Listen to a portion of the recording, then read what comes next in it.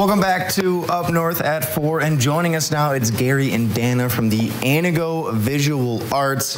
And so, Danna, we got a lot to, talk, about. Yes. We really do. So, Antigo Visual Arts, I'm sure a lot of people in the Antigo area are familiar with it. But as we come further north, people are saying, oh, I never knew Antigo had a Wait visual minute. arts Okay, program. we What are a small AVA? gallery inside the Langlade County Historical Society. Okay. And a f- probably about four years back, we started to try to get into the public art aspect of it. Mm-hmm. So we started doing some projects with the, with the city and um, mural project downtown, um, plastic bottle cap project with the Antigo Public Library, and then we kind of flourished into the school too. But a couple years back, the Association of Wisconsin Artists, AWA, came to us, wanted to do a rap show at our gallery, Wisconsin mm-hmm. Regional Arts Program, which really what they want to do is they want to bring rural art, rural artists Okay. in, have a show. The winners will go to a state exhibit, okay? Okay. So STAMP, which really we, we really want to talk about here too, is the student version of that. Okay? Oh, okay. And we Stamp hold and rap. Okay, yes, got it. STAMP is statewide teen art mentoring program. Okay. Love it. Okay. So we, I get a hold of the s- rural schools, um, Rhinelander, Menominee, Wabeno, White Lake, all these schools. Everywhere. Yeah. And these art teachers will be considered mentors to these students, and they bring art to this show. We hold it at the Antigo Public Library. It's going on right now. It's exciting. It is judged, and those winners will go to the state as well. And Gary, Danna mentioned, you know, a small gallery in the historical complex there, but it sounds like it's really expanding. What does that mean to you? Well, what we're tr- trying to do is is bring art to the whole community, and so through public art, some of the th- some of the things we've done are we now have four murals in the community that can be seen by the public. In fact, on May 6th, we're going to be having a dedication in downtown Antigo for those four murals, honoring the artists who did it, who donated their time to to paint these beautiful murals. And so we're going to have a dedication in um, in Kingsbury Park downtown on May 6th. But we also do um, bottle cap art, which the first time I heard that, I was like, "What is that?" I was thinking the same thing just moments ago. But yeah. it's but it's beautiful, and they've they make um, strings of, of. I mean, when they say bottle caps, it's it's all different sizes of lids, from you know five gallon pail lids to the cap out of a pop bottle. So it's just not the Coke top. It's just not the? Coke Okay. top, yeah. And and I'm not an artist. I the only ability I have is to appreciate art. So, but what they do with that is is beautiful. Make beautiful art with it. They made beautiful. Um, in fact, her mother did one just recently of, a, of an eye that's this big. That's just gorgeous out of bottle caps. And we have um, youth who do it. Um, many we've worked with. Um, with with the schools. Dan works with the schools with bottle caps. We've even worked with kids who have community service and had them do bottle caps. Okay. We've done a lot with lots of youth. And uh, what's really cool is that when youth do something maybe that they've never done before, and it turns out, and they think, "Wow, this looks really nice," it really is a, a boost to them. That moment where it's like, I created that. Exactly. Yeah, Yeah yeah. yeah, So it's it's a it's a great thing for them, and that's why we try to do it. I, I think that's what is so cool to me about your whole organization is not so much that it's a space for established artists in the area to come and showcase a work, but you're also doing that outreach aspect of getting the kids involved and letting them create things. And maybe they've never done that before, but that's just kind of how you foster that uh, throughout your life. So Danna, I just heard your mom is an artist as well. So is that kind of the case for you? Is this something that you kind of got involved in at a young age with art and being creative? Actually, in my in my mind, art is very healing.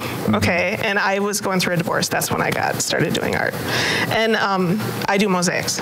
Oh, cool. The plastic bottle cap thing kind of just like fell into the whole thing with the public art. We were trying to figure out how to. The community saves the caps. They bring them in, put them in a receptacle, and we just make art with them.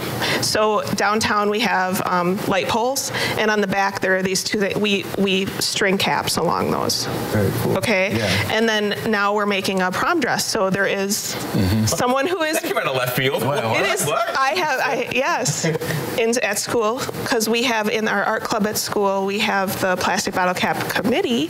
Through the kids have Oh a committee, gosh, yeah. and they are going to do a prom dress. So so this student is going to wear it to prom. Take I have- to the next level. We have questions. I have though. so many questions. Unfortunately, we're up against the clock. That's So We're okay. gonna take a quick break, and I gotta ask about this prom desk coming up. Right, that's next though on Up North at Four. Stick with us. Welcome back to Up North at Four. We're joined by Gary and Danna from the Antigo Visual Arts, and you guys are just telling us that a student is going to be wearing a prom dress made, Made out of bottle caps this year. I've Yeah. got questions. Okay. uh, for starters, why? Where did this idea come from? Well, Lady Gaga wore meat. Okay, fair enough. Inspiration, you get it everywhere. Right. And that's what I tell them. That is what I, I have told them that several times. So was there pushback from the kids? Everybody's Were they doing like, it. uh, Well, I th- yeah, it, I think it was kind of hard. I did have to ask several times who would wear a prom dress, uh, and and a student stepped up. Yes. So. there we go. And at first I was Thank you, student. yes, right. If you're watching, we appreciate it. Got a heck of a That's, a, story that's a commitment. That is a commitment. It's a big ask. It is. Right. Oh my gosh. It is. When you go into the schools, what's been the reaction to expand this into the schools? Is administration kind of open arms? Yes. As you go to businesses to put murals on buildings, it's been open arms. Yes. We have them coming to us and asking. They're coming to you. Yes. Is yeah. that the city coming to you and saying we want to help make our environment more artful? The city, Well, city economic yeah. development, yes. They're very supportive. They are very supportive of this. In fact, they've they've set some money aside to help fund parts of it. But but we actually now that we have some murals in the community, we've had other business people come to us and say, "Hey, I have a building here. I would love to have a mural on it. Just Can need one to kick it talk to off. us?" Once they see it, it's like, I Yeah. want that. Right? Yeah. Exactly. So you said there's, is it four meals? We have four murals right now. Um, we have, I think, three more that, that we're talking about um, that in the Wow. community. Gosh. Danna, So, you have, I can tell great. you're thinking a lot, right? It, it takes a lot. Three to five years from now, where do you see this program? What's the dream? Well, I do mosaic, so I want to do something mosaic. There we go. I would like to have like a, a, a mosaic seating area somewhere in the park. I don't know. Okay, And it, and, and I there. see. I really just hope that we just get more involvement and more involvement, and it's easier because in the beginning it seems like it's really just Yeah. a, a few of us really pushing. But we really need to talk about the legacy project in the schools Yeah. too because Yeah, that was a big deal. And this was this this um, generated from from uh, Justin Markgraf, um, who is the art teacher in the high school. He, he he went to a conference and met a woman named Connie Greeny, and she she does murals um, for for communities and for schools. And so he talked to her, and so what, what happened came from this is we're doing it's called the Antigo Legacy Mosaic Mural Project, and we're actually doing a mural for each of the five schools. There's three elementary, a middle school, and a high school, and we're doing five murals. The the um, the the theme is belonging, and I and we can talk about that in just a second. But what we've done is gone into the schools, and for each school, all the kids, the teachers, even the the lunch people and the bus drivers have made tiles, ceramic tiles for these mosaics, and the kids have have done drawings. And Connie Graney, who's the artist we've hired to help with this, she takes those drawings and she gets themes from it and creates the, the murals.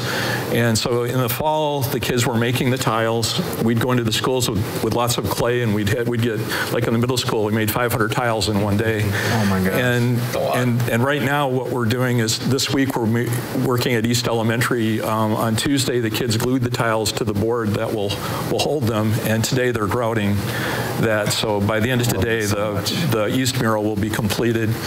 Um, and then on May 24th, we're going to have a, a reveal and a dedication for all those. And I seriously, I've learned so much just from you two in these last few moments, and it's been a blast talking to you both. We're going to take a break, though, and up north at four. We'll be right back after this.